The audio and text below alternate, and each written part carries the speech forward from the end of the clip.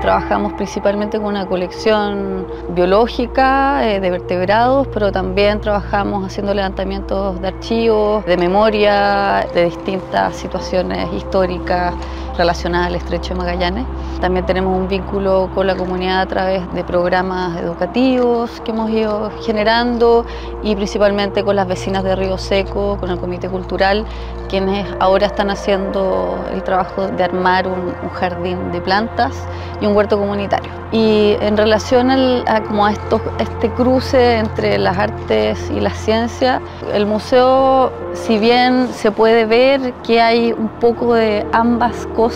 eh, mezcladas, eh, básicamente porque dentro del equipo hay biólogos, hay artistas, entonces se da de una manera natural. Eh, nunca ha sido como estos grandes paraguas, ¿cierto?, de la disciplina, tal vez el lugar donde no hemos instalado, sino que hemos tratado de que, la misma historia natural sea como el, vehículo para que se vayan mezclando las disciplinas, tal vez sin tener que hacer categorías. Si bien está y se, permea a través de las colecciones, tratamos de mirarlo más desde la indisciplina, ¿cierto? Eh, esa es un poco nuestra, nuestra visión eh, respecto a estos dos grandes como conceptos.